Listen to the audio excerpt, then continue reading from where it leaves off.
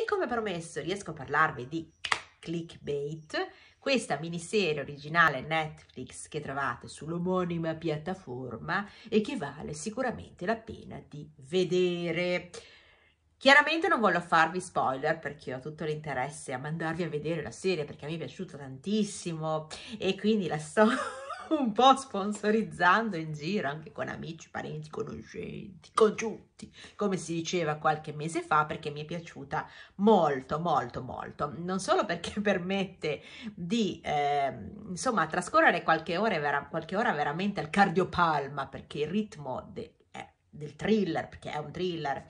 è piuttosto serrato, quindi sapete quelle serie televisive dove una puntata tira l'altra, no? Come le ciliegie, perché volete andare avanti a vedere come va a finire. Questo sicuramente vi aiuta se state cercando un qualcosa veramente per dire voglio staccare la spina, voglio pensare più a niente, voglio guardare qualcosa che mi rilassi e questa sicuramente fa al caso vostro.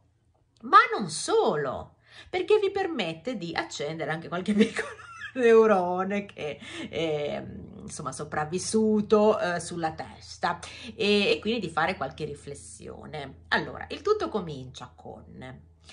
una persona che scompare. La protagonista mm, eh, ha un fratello mh, mm, con la quale, diciamo così, ha un, ha un rapporto un po' conflittuale eh, perché, insomma, litigano spesso e eh, durante il compleanno della madre si raduna tutta la famigliola, per cui c'è questa ragazza, la protagonista, suo fratello, la moglie del fratello, quindi la cognata, e i figli, due figli maschi mh, mm, eh, di questo fratello. E durante appunto questa festa, piccola festa di compleanno in famiglia, cioè, eh, scoppia l'ennesima discussione per una questione banalissima, cioè sulla scelta poi che è stata effettuata del regalo per la madre. E durante questa lite, ennesima lite, ma niente di che, voglio dire, scaramucce tra eh, fratelli, volano un po' di parole esagerate. Quindi lui le dice tipo,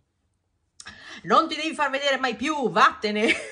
insomma, qualcosa di questo, eh, di questo tipo. Però, insomma, sono quelle situazioni che si creano un po' tra fratelli, no? Tra persone che comunque hanno vissuto eh, insieme tante cose, hanno vissuto anni così importanti, eh, gli anni dell'infanzia, gli anni dell'adolescenza, insomma quei rapporti che per quanto uno possa poi avere dei buoni rapporti con i coniugi, con gli amici, non si può mai arrivare a certe vette diciamo, no? Per cui, come, come dire, certe, certe vette di, di conoscenza approfondita, e certi svelamenti, diciamo così, per usare un termine filosofico, che si hanno solo in questi rapporti così stretti dove si è vissuto così tante cose eh, a contatto in, in età e in momenti così importanti, così determinanti della propria esistenza. Fatto sta che eh, la ragazza poi eh, passa una nottata in discoteca, mh, mm, eh, è un tipo un po' diverso dal fratello, perché il fratello è un tipo eh, molto più impostato, ha un lavoro ehm, molto rutinario, insomma è più grande anche a livello anagrafico, lei è un po' la pazzerella della famiglia, diciamo così, quella un po' più giovane, un po' più spensierata. Dopo questa notte da semplice alla fine ragazza eh, da, da, ventenne o poco più, ehm, il giorno dopo va appunto al lavoro, lei fa l'infermiera e eh, c'è uno dei ragazzi che eh, sta lì per farsi appunto una, una, trasfusione e vi dico questo perché solamente accade nella prima puntata ma in realtà ehm, vuole essere un modo per invitarvi a guardare, poi chiudo lì diciamo il discorso e che cosa gli fa, gli fa, le fa vedere questo, questo, ragazzo che è appunto lì eh, per farsi questa trasfusione? Un video su YouTube. E questo video eh, fa vedere, mostra suo fratello con un cartello in mano che dice eh, ho fatto del male a delle donne in passato, quando raggiungeremo un tot di visualizzazioni eh, io morirò. E quindi parte questo video virale, perché ovviamente poi arri arriva da un punto in cui ne parleranno anche i telegiornali, e lei con la cognata informano ovviamente la polizia, subito si pensa ad uno scherzo, ma poi si capisce che c'è qualcosa di diverso. Questa persona probabilmente non sta facendo eh, un atto suicidario o un annuncio di suicidio, anche perché sia la sorella di quest'uomo che eh, la moglie sostengono eh, trattarsi di una persona assolutamente, eh, come dire, ehm, tranquilla da un punto di vista psicologico, senza problemi eh, di sorta, voglio dire, quindi stabile, quindi come potrebbe essere un suicidio. Si va subito verso invece l'ipotesi di un eh, rapimento. E si comincia a sondare nella vita di questa persona. E succederà di tutto a quel punto, in pochi episodi succede di tutto, metteranno in discussione tutto perché ovviamente questa persona, questo fratello, questo marito incomincia ad essere messo in discussione dall'esterno. E poi comincia quella che è un'attentissima riflessione su quelle che sono le conoscenze online. Perché si parla tanto durante la serie delle, eh, delle app, delle chat, diciamo così, di quelle app che permettono di fare incontri, chat, incontri di conoscenze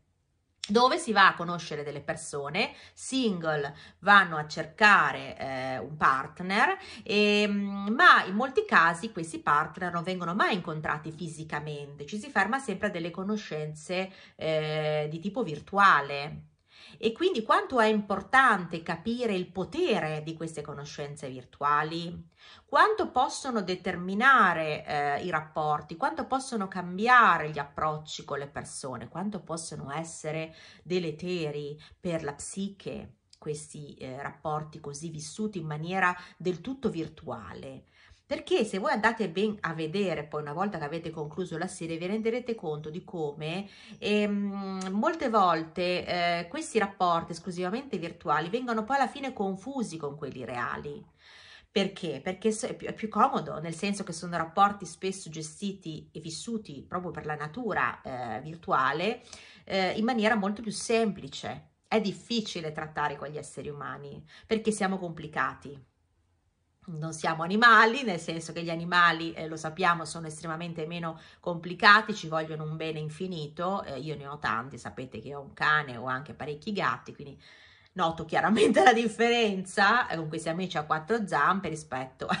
ai bipedi di casa con cui vivere è assolutamente più complicato. Gli esseri umani sono complicati, siamo complicati, siamo estremamente complicati e un rapporto online semplifica molto di più le cose ci si lascia, ci si prende con una rapidità infinita, ma il problema è che non andiamo a, spesso a riconoscere questa differenza e scambiamo quello che è un rapporto esclusivamente virtuale, quindi svuotato di tutta la complessità che si va a determinare del rapporto reale, come un rapporto invece reale, concreto. E questo è molto pericoloso per la psiche perché in alcuni casi eh, identifichiamo questi rapporti che poi alla fine eh, sono molto meno pregni ovviamente, in alcuni casi non esistono proprio rispetto a quelli reali, con quelli virtuali, con il risultato che alla fine veramente ci autoconvinciamo di aver contratto magari la persona della vita o di aver vissuto chissà che cosa, perché il resto è diciamo tutto riempimento.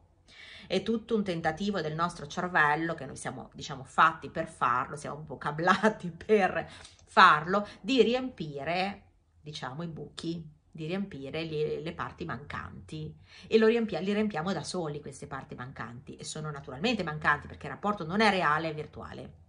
E questo è estremamente pericoloso perché si creano veramente delle situazioni in cui ci identifichiamo con eh, quello che non è alla fine quello che non è eh, il rapporto che non è reale. E tutto questo l'ho visto in maniera palese e molto intelligente in clickbait. Quindi una storia al cardiopalma che vi trascina su da una puntata all'altra per capire che cosa ne è stato di quest'uomo che cosa ne sarà di quest'uomo perché le visualizzazioni cominciano a salire il video diventa virtuale molto rapidamente e addirittura sul telegiornale ne parlano ed è pericoloso perché quest'uomo ha detto che quando raggiungerà un tetto di visualizzazioni morirà. Quindi che cosa accadrà? Andate avanti nella narrazione e, e, e buttatevi a capofitto in queste riflessioni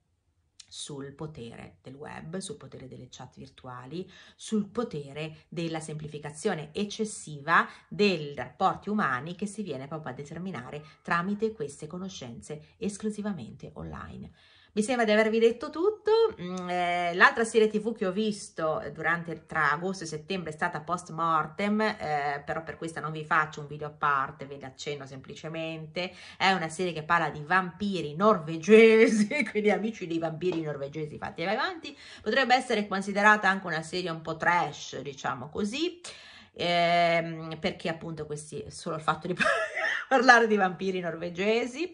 e carina, voglio dire niente di, di che, eh, soprattutto per le canzoni, questo mi sembra di averlo già detto, per le canzoni norvegesi che si sentono comunque mh, mm, assolutamente, se volete passare 3-4 ore eh, di, ehm, così, di relax potete eh, sceglierla.